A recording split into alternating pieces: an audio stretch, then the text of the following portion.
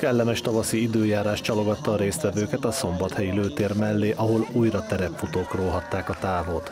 Az Alpokai Szabadidősport Egyesület már 11. éve biztosítja a mozgás lehetőségét a sportbarátoknak. Népes mezőnyt vártak a szervezők a Vasi terepfutó sorozat újabb állomására is. A Dozmati idényítót követően ezúttal a parkerdőben bizonyítottak a résztvevők. Valamennyi korosztályra gondoltak, a gyerekek 400 méteren és 2 kilométeren, a felnőttek 5, 10 és 20 kilométeren indulhattak. Nehezítő körülmény volt a felázott talaj és a színkülönbség is.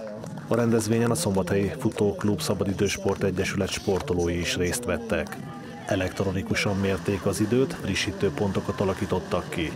Valamennyi befutó érmet kapott a dobogósok díszoklevelet, a győztesek pedig a támogatóknak köszönhetően értékes ajándékokat kaptak.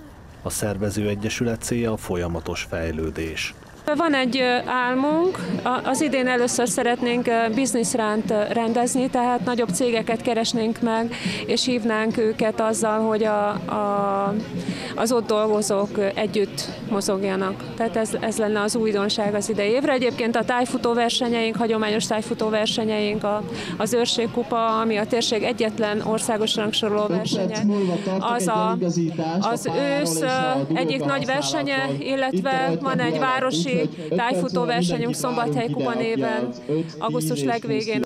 A Vasi terefutó sorozat harmadik, egyben utolsó állomására még van lehetőség készülni és nevezni.